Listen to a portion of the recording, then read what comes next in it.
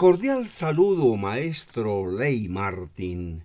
Un agradecimiento especial para nuestros colaboradores, don Luis Enrique Ríos en Barranquilla y don Ricardo Bedoya en Bogotá. Normas básicas de relaciones humanas. Sea cortés y atento con todas las personas.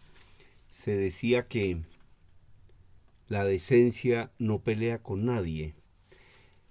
Ahora, hay personas que son corteses y atentas con todas las demás personas por su propia cuna, porque así los criaron, porque ese fue el ejemplo que recibieron en la casa.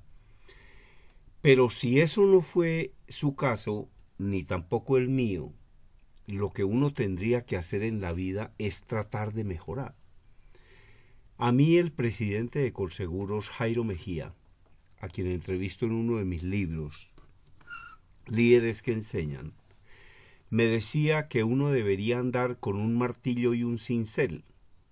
Y yo le dije que para qué, y dijo, para pulirse todos los días. Y yo sí creo que uno se tiene que pulir. Ahora, pulirse, en mi opinión, en la dirección en la que lo lleve a uno a ser más feliz, a ser más tranquilo y a disfrutar más la vida. Porque si, por ejemplo, una persona lo que vive es agresiva todo el día y de mal genio todo el día, y peleando con todo el mundo todo el día, pues yo lo que creo es que esa persona va a terminar enferma. Uno a veces vive de mal genio y a veces pelea, pero eso no puede ser todo el día. En una oportunidad, una periodista, creo que de la revista Cromos, le hizo una entrevista a un gran periodista con el que yo trabajé 14 años, es Yamid Ahmad. Y le dijo, oiga Yamid, las personas dicen que usted es una persona mal geniada. Y él contestó, yo no soy mal geniado, yo soy neurótico. Entonces le dijo la periodista, aterrada como yo, ¿y cuál es la diferencia? Dijo que mal geniado es un tipo que vive de mal genio todo el tiempo y neurótico es una persona que puede ser explosiva, pero después se le pasa. Y le dijo a la periodista, si usted hablara con personas que han trabajado conmigo, le podrían certificar que yo no soy una persona malgeniada porque yo no vivo malgeniado todo el tiempo. No. Y yo que trabajé con Yamit 14 años, que llegué a ser su jefe de redacción los fines de semana en la cadena Caracol de Colombia, puedo confirmar eso. Yo trabajo con Yamí 13 o 14 años y a mí en 13 o 14 años me regañó tres veces. Y todas las tres veces tuvo la razón. Entonces, qué pereza estar con una persona que viva de mal genio todo el día. Qué pereza. Yo sí prefiero un neurótico que explote y que después le pase y que además explote, pero cuando sea completamente justo y razonable. Y habrá personas que digan es que para lograr los resultados no hay que explotar. Bueno, eh, en una oportunidad yo le pregunté a una persona cuál es la mejor forma de gerenciar. Dijo la que es resultado. ¿Cuál es la mejor forma de liderar? La que es resultado. Su forma de gerenciar es así, le da resultado, sí. Ah, entonces es buena. Su forma de comunicar es así, le da resultado, sí, bueno, entonces es buena. Entonces, para mí lo único que es verdad es lo que produce resultados. Entonces, yo conocí a Yamit, trabajé con él, también trabajé con el doctor Darío Arismendi, gran periodista. Trabajé con Juan Gozaín, un gran periodista, una persona muy leída y muy culta. Yo trabajé con los grandes periodistas de este país. Hoy trabajo con los grandes periodistas de este país también. Entonces, eso es lo que les puedo contar de, del tema de Yamid. Yamid no es una persona de mal genio, todo lo contrario. Eh, ahí en la redacción de la cadena Caracol, calle 19, número 848, todavía me acuerdo el número. Eh, Yamid vivía por la sala de redacción de muy buen humor, haciendo apuntes. A veces se disfrazaba, iba disfrazado a la emisora, se disfrazaba de árabe, eh, molestaba a las periodistas. Los días viernes hacía ese programa de donde nació la idea de la luciérnaga ahí nos tomábamos uno que otro. Entonces, una cosa es ser neurótico o ser explosivo y otra cosa es vivir de mal genio todo el día. Yo creo que una persona que vive de mal genio todo el día se enferma. Se enferma. Yo, por ejemplo, muchas veces me pongo de mal genio, pero yo normalmente no soy una persona de mal genio. Hay cosas que me indignan y protesto y lo que usted quiera y si hay que pelear, peleamos. Pero yo normalmente no vivo de mal genio porque, oiga, qué pereza trabajar para un jefe que iba todo el día de mal genio. Qué pereza. Yo con una persona así no trabajaría por toda la plata del mundo. Yo recuerdo que una vez renuncié a un puesto que me dieron. A mí el sueldo me lo echaban entre un costal.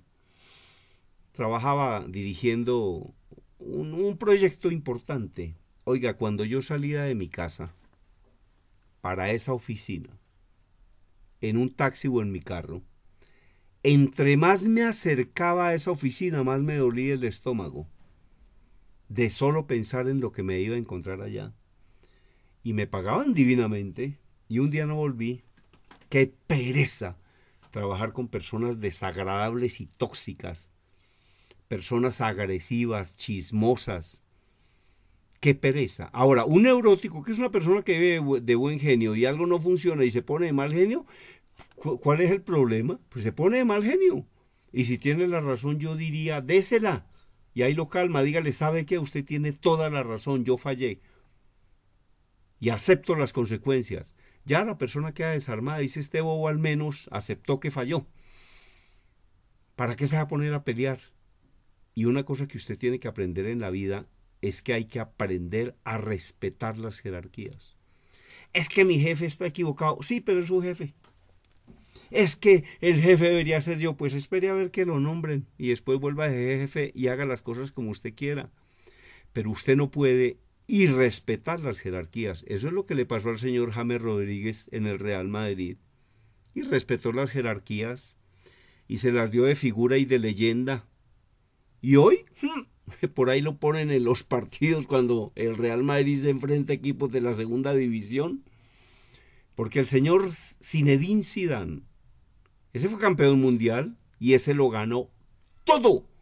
Para que venga una persona a hacerle mala cara porque no lo pone a irse los entrenamientos, a no despedirse, pensando que en el Real Madrid iba a ser una estrella como acá. No, ese señor lo sentó allá y le dijo, mucha estrella, siéntese acá, yo pongo es a los que mejor están, punto.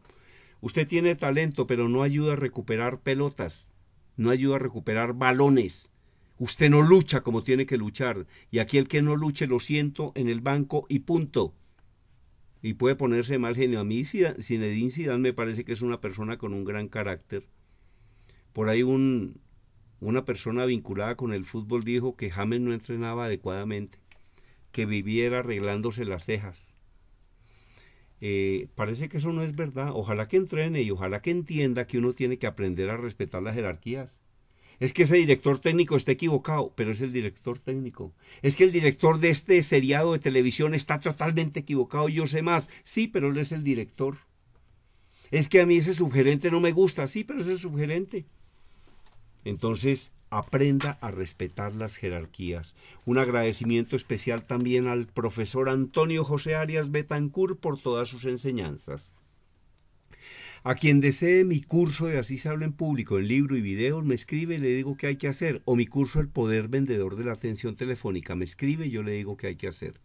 Mi correo electrónico conferencista hotmail.com Mi WhatsApp 322-218-7567. Adquiera los cursos, yo le digo qué hay que hacer. Eso era todo por el día de hoy, maestro Ley Martín. Desde Bogotá, la información la presentó Germán Díaz Sosa.